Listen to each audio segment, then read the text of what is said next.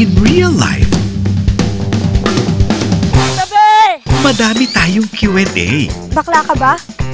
Siya, lalaki ako. dahil sa totoo lang, Hoy! Boy! Anong ginagawa mo dyan? Nagpapahinga lang po ako. ang buhay hindi lang puro comedy. Nakakapagod naman talagang magpanggap. Habang buhay akong magtatago, habang buhay ding madilim ang buhay ko. Kabalansin niyan ang drama. Pa! Pa!